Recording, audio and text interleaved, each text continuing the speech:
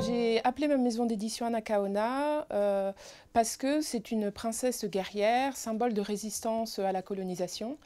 Euh, et j'ai trouvé que c'était un bel, euh, un bel exemple ou une belle métaphore de la résistance euh, à l'impérialisme au sens large, et notamment à tous les best-sellers américains qu'on peut avoir sur beaucoup de tables de librairie.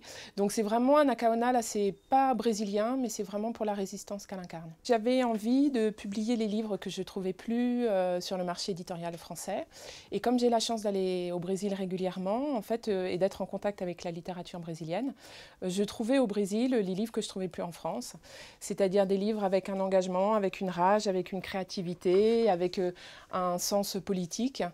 Euh, et donc j'ai décidé de créer cette maison, axée sur la littérature brésilienne, parce que c'est une littérature qui de toute façon était peu traduite euh, et peu publiée en France. donc c'était une petite niche que j'ai trouvée. Dans toutes les Caraïbes, on appelle Anacaona un peu les femmes à forte tête ou à forte personnalité. Donc je ne sais pas si je suis comme ça, mais en tout cas, voilà.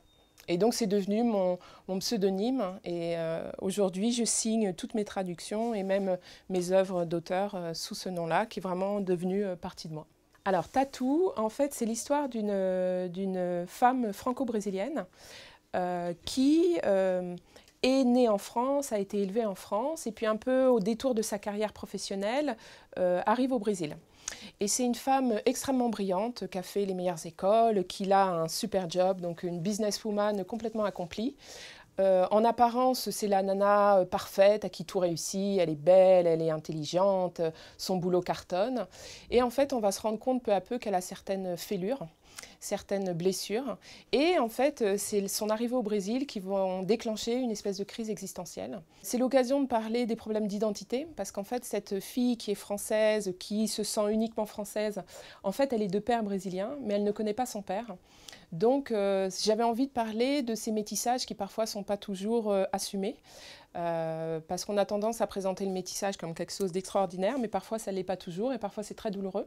Et pour elle, ça l'est complètement. Et puis c'était aussi présenter une femme noire dans une position où on n'a pas l'habitude de, la, voir. Parce que quand j'ai vraiment regardé ma bibliothèque chez moi, je me suis dit, ok, où sont les héros noirs dans les livres? Déjà, on commence à les compter sur les doigts de la main. Et après, quand on a effectivement des personnages noirs, euh, soit ça va être au XVIIe siècle des esclaves, ou soit ça va être dans les romans policiers, euh, des dealers, dans les ghettos des États-Unis, etc. Et euh, voilà, moi je suis un exemple, je ne suis pas une dealeuse, je n'ai pas fait de prison, je ne suis pas prostituée et je ne suis pas esclave. donc des gens comme moi existent et on ne les trouve pas encore dans les livres français en tout cas. Euh, donc c'est aussi pour ça que j'avais envie de montrer une femme noire un petit peu euh, comme on n'a pas l'habitude d'en voir dans les livres, parce que dans la vie, elles existent. T'es noire? Oui, t'es noire. Et tu détestes cette appellation en vogue, black. Comme si le mot noir faisait peur, comme si c'était un défaut, et qu'en l'appelant autrement, on rendait cette carnation plus acceptable. Oui, t'es noire, et tu l'écris avec un N majuscule, et tu te prends tous les jours dans la figure les clichés divers et variés sur les gens qui ont ta pigmentation.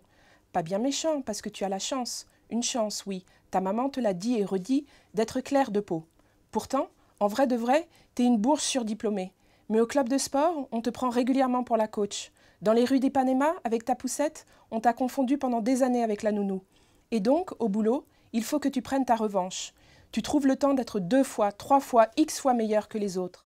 Je pense que c'est exactement ça euh, pour lequel je me bats en tant qu'auteur et aussi en tant qu'éditrice, c'est en fait casser les stéréotypes. Donc en tant qu'éditrice, ça va être casser les stéréotypes sur les Brésiliens en général, montrer que les Brésiliens ne sont pas que des footballeurs et les Brésiliennes ne sont pas que des danseuses de samba. Euh, et en tant qu'auteur, par exemple avec Victoria, bah, c'était exactement ça, casser le stéréotype sur la femme noire qui est souvent dans des positions de subalternéité. Euh, donc voilà, et le, problème des stéréotypes, même si effectivement il y a sûrement euh, un peu de vrai derrière, c'est-à-dire qu'au Brésil, effectivement, les femmes noires sont souvent employées domestiques, c'est qu'après les gens ont tendance à, faire une généralité à 100%. Et, c'est très difficile et même douloureux en fait à vivre ces, stéréotypes parce que vous devez toujours prouver que vous n'êtes pas comme ça. Euh, et je crois que pour les majorités, euh, l'hétérosexuel blanc, etc., il n'y a pas de cliché attaché à lui. L'homme hétérosexuel blanc, il peut être ingénieur, il peut être avocat, il peut être ouvrier, bon. Alors que euh, la, femme noire, elle est beaucoup plus cloisonnée. C'est ça mon, travail, c'est voilà, petit à petit faire changer un petit peu les mentalités des, gens et puis surtout dans une optique vraiment de, de, voilà, de vivre tous ensemble sur la même planète, de tous se connaître pour tous se respecter.